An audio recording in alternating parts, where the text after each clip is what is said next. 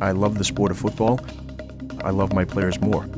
When I played, getting dinged, getting your bell rung, you never thought twice about it. Is the game a risk? I think it certainly is. Either we change the way we coach the game, or we won't have a game to coach. I walked into a staff meeting and, I, and I said, you know, fellas, we're not going to tackle the spring. So guys say, yeah, okay, what's the punchline? I said, no, I'm serious. We're not tackling. But we are probably the most effective tackling team, I would say, in the country. Why we practice it more than anybody in the country? We just don't do it against people.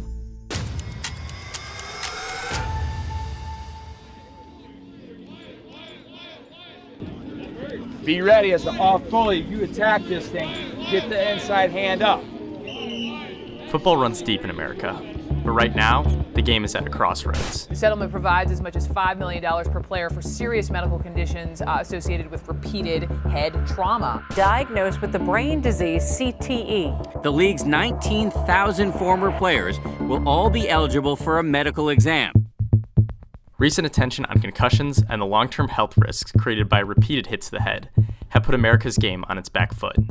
Youth participation continues to fall, this year reaching its lowest level since 2000. Dartmouth head football coach Buddy Teevens is trying to reverse this trend and keep players safe, and he may be leading a revolution in the process. We have a spring scrimmage, and uh, um, two of my guys go head to head. Starting running back, starting linebacker, both concussed. And I thought, this is nuts. So I, I did a little bit of research and decided that we were not going to tackle any longer. My players were a little bit backed up. You know, what do you mean we're not tackling? Most brain damage in football isn't usually suffered via one devastating in-game blow, but from repeated knocks, the onslaught of subconcussive hits suffered again and again in practice. Keith again, man. Guys come here, they may have four to 10,000 fewer subconcussive hits during the course of their career here at Dartmouth than they would at uh, another Division One program. But Teevens faced a fundamental question. How could you really sufficiently mimic in-game scenarios under a coaching philosophy that doesn't allow tackling? When I eliminated the live tackling, one of the frustrations was I didn't have anything that simulated a moving target. And we tried everything, guys pulling bags, a golf cart and a, a blocking dummy, and nothing worked one of my classmates and a good friend, John Currier, uh, works in the Thayer School of Engineering. We were looking out the window of his office suite down on the field one day, and he said, it would be nice if we could make one of those big tackle bags move. And I said, buddy, I think we could do that. The result was this, a padded robot called the MVP, or Mobile Virtual Player there's tension growing between the tradition of high contact and science that's showing that we need to pay more attention to player health and safety.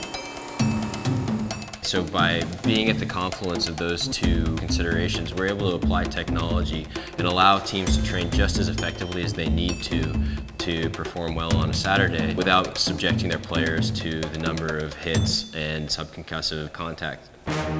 We got a prototype working and as soon as we had something that worked on the field, it took off.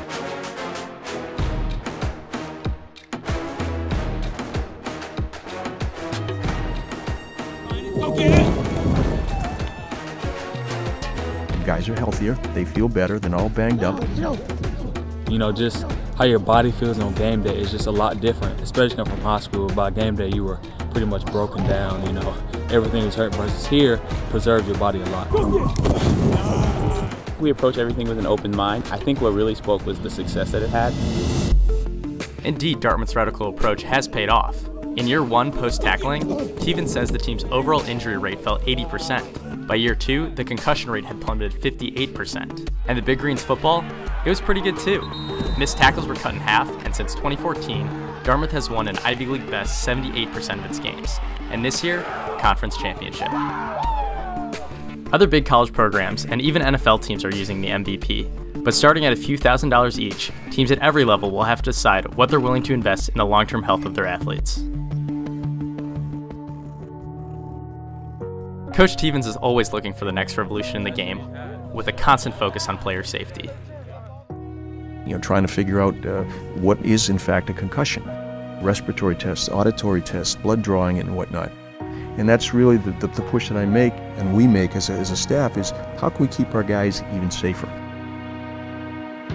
A lot of the athletes here are going to go on and have long careers, long lives after they retire from the sport that they're playing. And so from that standpoint, it's really important to protect the health of your brain, protect the health of your body so that you can go on and live a long and healthy and fulfilling life. I think about kind of the philosophy of, of football and, and changing the game. It's a wonderful game, and I think that's a great way to train student athletes for productive lives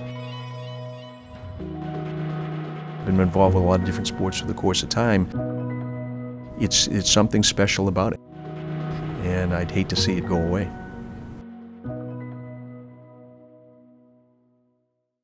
Hey guys, thanks for watching. We had an awesome time here with Coach Teevens and the Dartmouth football team.